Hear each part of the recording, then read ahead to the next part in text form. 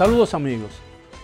Hace ya algún tiempo, en julio del 2015, la entonces presidenta del Senado, Cristina Lizardo, emprendió una campaña por el buen uso de los símbolos patrios, corrigiendo un error en la réplica del escudo que existía en la sede del Congreso Nacional.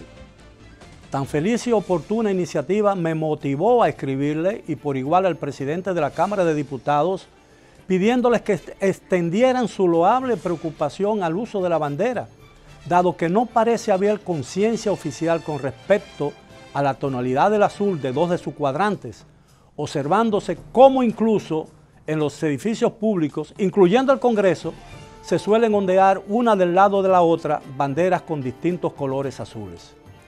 Esta ha sido una inquietud personal que he plasmado infinidad de veces en mi labor periodística sin que ninguna autoridad relacionada con el tema haya tomado alguna decisión para evitar que continúe esa terrible confusión respecto a uno de los colores de nuestra insignia. La ignorancia sobre el particular es tan notable que una vez le pregunté a un estudiante universitario si conocía aquello que terminaba, ¿quién te viera, quién te viera, más arriba, mucho más.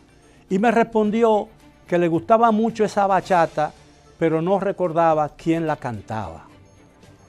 En mi época solía cantarse en las escuelas públicas y privadas el himno a la bandera, pero dudo que los alumnos hoy, hoy en día hayan alguna vez cantado. Ya empezó su trabajo en la escuela y es preciso elevarte a lo azul relicario de viejos amores mientras reine la mágica luz. Nos sentimos arder a tu influjo la luz viva de un fuego interior cuando flotas alegre, besada por los cálidos rayos del sol. Dios parece decir, oh bandera, la sublime expresión de tu azul, patria, el rojo de vívida llama, libertad, dice el blanco en la cruz.